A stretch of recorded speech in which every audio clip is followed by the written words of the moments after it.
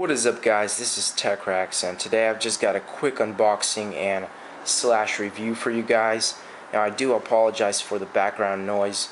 I'm actually uh, in Anaheim, California with my family for a vacation so I'm not home but I do have a special uh, review slash unboxing. This is the Lumix FH20 uh, video uh, digital camera. So this will run you anywhere. Uh, this specific color and specific model will uh, cost you about $160 and it's 14.1 megapixels as you can see right there 8 optical zoom 2.7 inch uh, for the LCD so let's just open this up and I do apologize once again I don't have my tripod with me because I'm away from home so I didn't bring everything. I'm actually hoping my camera doesn't die out on me right now. So we have an instruction manual pretty basic. Some applications basic CD for the startup.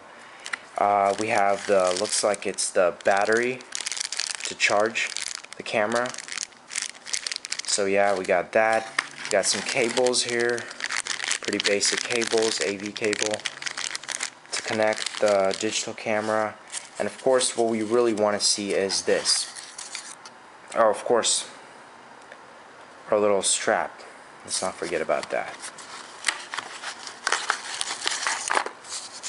Alright. So this is what it looks like. And this is pretty much your typical camera.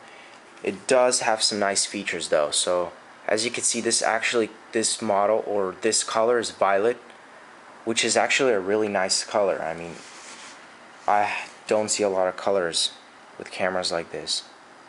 You can see your basic just layout, basic style. You can see it says labeled right there. Panasonic DMC FH20. Uh, you got your off and on. Of course your adjustment button right there pretty much your mode right there just the basic settings menu display and a nice screen 2.7 LED so definitely a pretty nice general camera by Panasonic I would recommend this if you do not have a camera yet maybe you don't uh, have a lot of money right now to purchase one this would definitely be a great deal for your vacation trips anything like that so this is definitely a good deal. I do recommend it. It's worth the price and it definitely will last you a long time. That's pretty much it. I know this is a really quick review unboxing guys for you but I don't have a lot of time. Thanks for watching and stay tuned for more videos. Peace out guys.